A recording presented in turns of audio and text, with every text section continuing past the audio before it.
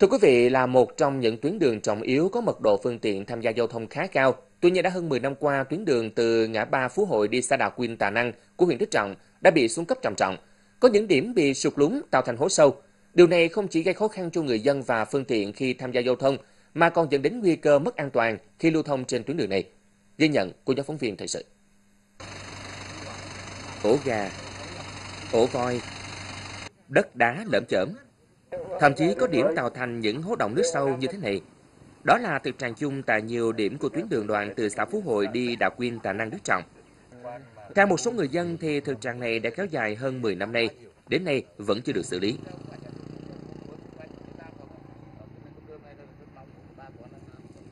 Do cái tuyến đường cho nên là nông sản của giá nông sản của bà con là tụt rất nhiều à, so với cái giá của thị trường.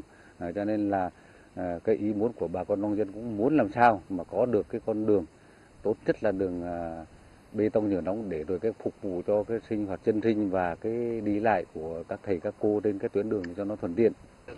Tuyến đường từ ngã ba xã Phú Hội đi đảo Quyên Tà Năng Đức Trọng hay còn gọi là đường DH6 có chiều dài gần 25 km.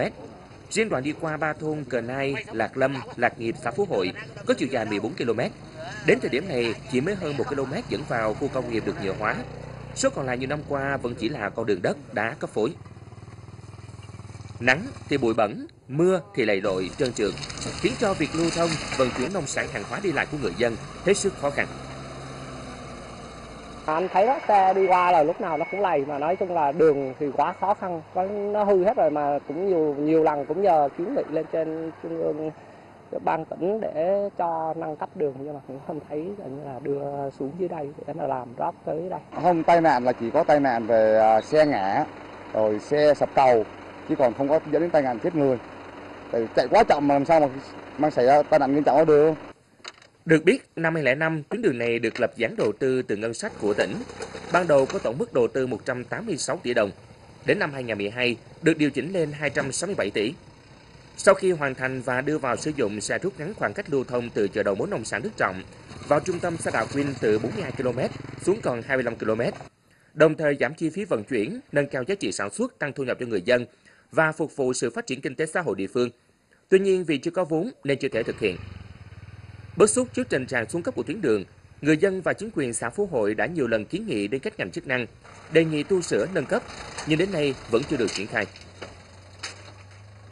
Qua mấy lần sửa chữa là do nguồn kinh phí của nhân dân đóng góp bằng ờ, một người 200, 300 như đó thì năm nào chúng tôi cũng sửa chữa hết.